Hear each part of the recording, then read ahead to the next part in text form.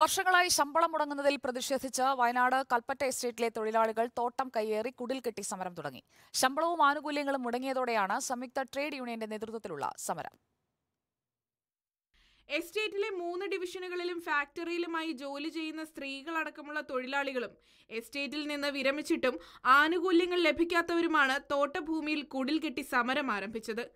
വർഷങ്ങളായി എസ്റ്റേറ്റിൽ തൊഴിലാളികളുടെ ശമ്പളവും മറ്റാനുകൂല്യങ്ങളും കൃത്യമായി നൽകുന്നില്ല.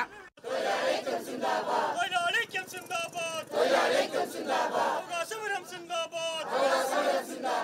പലപ്പോഴും മാസങ്ങളോളം ശമ്പളം കുടിശ്ശികയാകുമ്പോൾ തൊഴിലാളികൾ പണിമുടക്കുകയും തുടർന്ന് ശമ്പളം നൽകുകയുമായിരുന്നു പതിവ്. നാല് മാസത്തെ ശമ്പളം കുടിശ്ശികയായതോടെ കഴിഞ്ഞ രണ്ടു മാസമായി തൊഴിലാളികൾ പണിമുടക്കിലാണ്. ഇനി വാക്കാലുള്ള പറച്ചിലോ ചർച്ചക്കോ വേണ്ട. ഞങ്ങൾക്ക് കിട്ടാനുള്ളത് ഞങ്ങളെ അക്കൗണ്ടിൽ ഇപ്പോൾ ഈ മൂന്ന് മാസത്തെ ശമ്പളവും സെറ്റിൽമെന്റും കൂടി അമ്പതിനായിരം റുപ്യ ഓരോ തൊഴിലാളികൾക്കും എസ്റ്റേറ്റിൽ ഈ നാല് മാസത്തെ പൈസ തരാണ്ട്. അതിന്റെ പുറമേണ് രണ്ട് കൊല്ലത്തെ ബോണസ് പത്ത് ഒമ്പത് വർഷത്തെ പി എഫ് സംയുക്ത സമരസമിതിയുടെ നേതൃത്വത്തിൽ ദേശീയപാതയും ഉപരോധിച്ചിരുന്നു. എന്നിട്ടും ഫലം കാണാതെ വന്നതോടെയാണ് തൊഴിലാളികൾ അനിശ്ചിതകാല കുടിൽകെട്ടി സമരത്തിന് നിർബന്ധിതരായത്. റിപ്പോർട്ടർ വയനാട്.